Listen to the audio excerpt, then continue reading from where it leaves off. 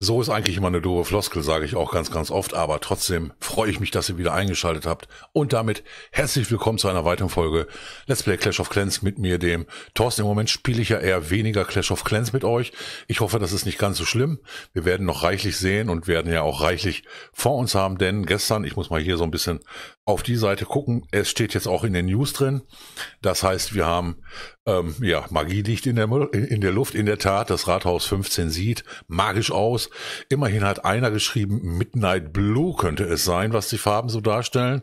Naja, kann man sehen, wie man will. Aber trotzdem danke für den Vorschlag und ähm, neue Truppen haben wir noch nicht gesehen, aber es gibt neue Verteidigung. Es gibt eine neue Verteidigung und zwar, äh, ich will ich will es mal so sagen. Ihr könnt euch sicherlich noch dran erinnern, als die Verteidigung der Luftfeger mit in dieses Spiel kam und viele haben gesagt, ach, das brauchen wir alle nicht, viel zu klein, viel zu uneffektiv. Aber ich finde die gerade diese kleinen, aber feinen Luftfeger können einem manchmal ganz schön abnerven. Und ähm, deswegen, oder nicht nur deswegen, sondern auch bei den neuen beiden Verteidigungen hat man erst so ein bisschen das Gefühl, na ja, aber wir gehen mal rein. Und zwar genauso wie gestern. Ach so, ihr seht hier übrigens auch die, die äh, Balance Changes beziehungsweise die Kostenreduzierung. Da geht es dann, so wie ich es gestern auch angesprochen habe, in die Wikis rein. Also auch schon im deutschen Clash of Clans Wiki werdet ihr die ganzen tabellarischen Auflistung finden. Vielen lieben Dank den Admins da, die haben sich echte Mühe gegeben, ähm, das Ganze vor allen Dingen ähm, schon in ihr Wiki drin gehabt zu haben. Gestern in dem Moment, nämlich wo das Video kam oder oder oder überhaupt wo die Vorstellung kam vom Rathaus 15 und finde ich schon sehr sehr cool. Ich meine, jeder macht sich da so ein bisschen mehr oder weniger Arbeit mit. Ich mache mir ganz ganz wenig Arbeit mit. Ähm, ist aber auch dem geschuldet, dass äh, ich das das Material, sagen wir mal so, so günstig wie günstig verbrauche. Gestern habt ihr mir nicht gesagt, dass, wenn ich auf meinen Bildschirm gehe, gar keine Kamera da ist. Leute, da müsst ihr mir doch sagen. Jetzt sieht das zwar ein bisschen komisch über mir aus, da mit dem Uhu so über meinen Icons, aber ähm, mein Desktop ist eher schlecht oder gut aufgeräumt. Auf der einen Seite sind die Non-Spiele und Applications und auf der anderen Seite sind die Spiele und Applications, die ich so für Stream oder zum Spielen brauche. Ich spiele ja auch nicht nur Clash of Clans. Ähm, aber nichtsdestotrotz, wir gucken uns das Ganze jetzt an. Wir gucken uns als erstes den Monolithen an. Der hört sich erstmal bombastisch an, so ein bisschen so wie, na, jetzt kommt der zweite Adler. Ist aber nicht so. Ja, es ist letztendlich ein Türmchen. Ein Türmchen und gar nicht mal groß. Sieht so ein bisschen aus wie ein Tesla, finde ich. Und ähm, ja, so, so möchte ich das auch gerne machen. Aber da fehlen mir natürlich ein bisschen die Gems, oder das ist gerade ein bisschen laut. Also für mich ist das gerade ein bisschen laut. Und aber ihr seht hier äh, 150 Damage per Second, extra Damage 14% auf Target maximal Heal Point. Und ähm, das heißt, er wird auch ein bisschen stärker. Aber jetzt äh, treten hier halt so Stück für Stück die, die Truppen ran. Und ähm, mich wundert es eigentlich gerade, warum ihr das plötzlich nicht mehr hört.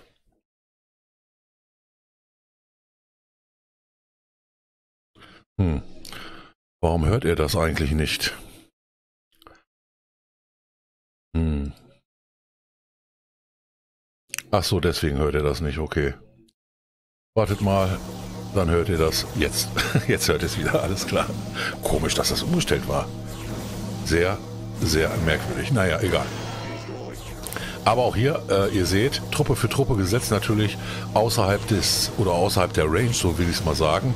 Und ähm, es ist schon, ja, im Moment hat es noch keine Truppe so wirklich geschafft. Mal sehen, ob der, ob der Golem noch drankommt und den, den Türmchen zerstören kann. Ja, der schafft den Monolithen aber auch gerade so, also mit aller allerletzter Kraft. Und der ist upgradebar erstmal bis Level 2. Sieht natürlich monstermäßig aus. 19 Tage, Freunde. Das ist auch mal wieder ein Wort zum Sonntag, wie gestern auch, die Sachen, die ja abgedatet werden können. Aber er ist nochmal noch mal eine kleine Ecke hübscher oben gehen.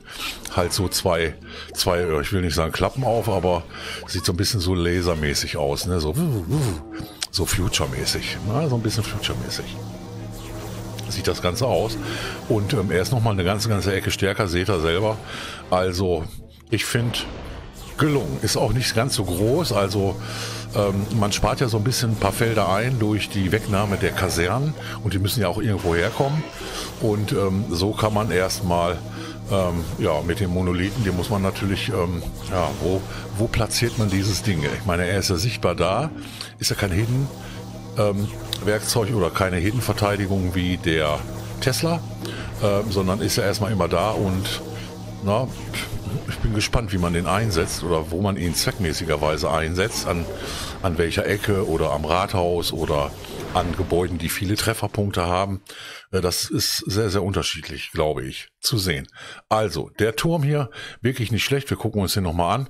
Und ähm, vom Design her passt er natürlich super hier ins Spiel rein. Aber es ist nicht das Einzige, was hier reinkommt, sondern es kommt eine ein Zaubertower ein Zauberturm. Okay, den müssen wir jetzt aber erstmal suchen. Ähm, den müssen wir jetzt erstmal suchen, den Zauberturm. Also erstmal aus dem Shop rausholen. Spell Tower, da ist er. Der ist ziemlich klein, ne? Also das ist noch nicht so ein richtiger Tower, würde ich sagen. Ähm, aber ich glaube, ihr, ihr seht schon, was er tut. Das heißt also, der kann abgedatet werden auf, ich glaube, vier Level. Und ähm, jeder Level, beziehungsweise jeder Level hat einen gewissen Spell-Effekt. Hier ist es der Rage-Spell, also Damage Increase 100%. Alles, was in seiner Range ist, macht halt mehr Schaden. Finde ich sehr, sehr gut. Also quasi Boost für Verteidigung. Was heißt Boost? Rage für Verteidigung. Und wie das Ganze aussieht, das zeigt uns hier auch der Kollege Sneak Peek. cooler, cooler, cooler Name für einen Char. Aber ihr seht das jetzt, wenn die ersten Truppen in die Range kommen, schmeißt er den, schmeißt er quasi den Gift und der taucht auch wieder auf. Wenn ihr es also nicht schafft, die ähm, Gebäude hier zu schaffen, beziehungsweise auch das Gebäude zu schaffen. Dann bläht er sich nochmal auf. Das heißt also, das Elex kommt dann nochmal von unten, dauert allerdings, so wie ich es jetzt eben gesehen habe, gute 50 Sekunden. Also dauert schon so ein bisschen was. Allerdings ähm, hat er noch andere Fähigkeiten und ich finde es ja, ich bin echt gespannt. Dieses, dieses kleine, unscheinbare Teil wird jetzt abgedatet auf den nächsten Level. Und Unlocks, man sieht unten schon, Gift. Ja, der Giftzauber kommt rein und er kriegt auch gleich mehr Hitpoints. Also 300 Punkte mehr, die runterzuklopfen sind. Und ihr seht jetzt unten auch schon, dass man den Spell jetzt changen kann. Also auch dort können wir etwas aktiv verändern.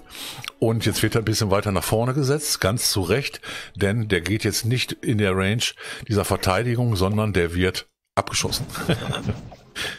Guckt euch das an, ist das cool oder was? Das ist doch mega, oder? Jetzt geht er auch wieder nach unten, beziehungsweise nicht da, nicht ganz nach unten, so ein bisschen, um wahrscheinlich die nächste Pulle hochzuholen. Ob ihm das gelingt, sei mal dahingestellt, nicht wirklich. Ah, doch, er verteidigt noch, aber die Helden machen dem Gebäude jetzt sicherlich ein Gar aus, denn sonst kommt das nochmal hoch und er schießt nochmal. Der nächste Zauber hat's ähm, ja heftig in sich. Also waren das jetzt doch nur drei Level. Jetzt muss ich gerade mal überlegen. Ähm, jetzt wird nochmal gewechselt. Ich glaube, es waren doch nur drei. Ich glaube, es waren doch nur drei Level erstmal.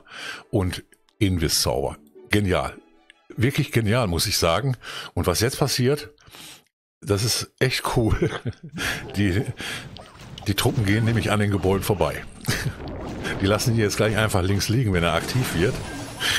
Und ich, ich musste gestern schon so ein bisschen lachen, als ich es gesehen habe, beziehungsweise heute ein bisschen lachen, als ich es gesehen habe. Und äh, da kannst du natürlich dann leider nochmal von vorne anfangen, ne?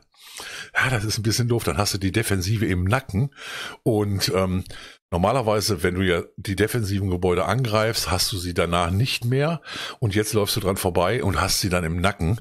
Ähm, ich meine, das ist eigentlich wie ein aktiv geworfener Invis-Spell, aber hier von dem ähm, Zaubertower ähm, ist das schon eine coole Sache, muss ich sagen. Und ähm, auch mit dem, mit dem Gift und mit dem Rage. Ich bin wirklich, wirklich gespannt auf die Einsatzmöglichkeit dieser beiden neuen Verteidigungen. Und ähm, ich denke mal, ihr habt da jetzt schon so ein bisschen eure Ideen, was kann man da machen, was kann man dagegen machen. Und ähm, aber die Felder der verbleibenden oder der jetzt wegbleibenden eins, zwei, drei, vier Kasernen, äh, das ist ja noch nicht gewesen. Ne? Also der Tower und der Monolith, die jetzt neu hinzukommen ins Spiel, werden sicherlich einige Felder ersetzen, aber das ist längst noch nicht alles. Aber jetzt schraubt man natürlich schon am neuen Base Designs oder überhaupt an den Base Designs und ähm, ich bin echt mal gespannt, wie das hier weitergeht. Das war auf jeden Fall für heute der zweite Sneak und ähm, ich muss immer mal wieder reingehen bei mir ins Game. Gehe ich jetzt auch mal wieder auf der Bildschirmaufnahme raus und dann habt ihr wieder mein Game hier. Ich muss nämlich immer noch in den CKs angreifen. Ähm, wir haben nämlich aktuell noch Liga, aber ich glaube, die Liga lassen wir mal links liegen und kümmern uns lieber so ein bisschen mehr um das Update. Also, zweiter Peak ist da. Äh, nein, Peak Sneak ist da und ähm, ich hoffe, ihr bleibt am Kanal, aua, ihr am Kanal dran und dann versorge ich euch mit weiteren Sneaks und mit weiteren Videos. Vielen Dank fürs Zuschauen, meine Lieben. Bis dahin, euer Toto. Clashed.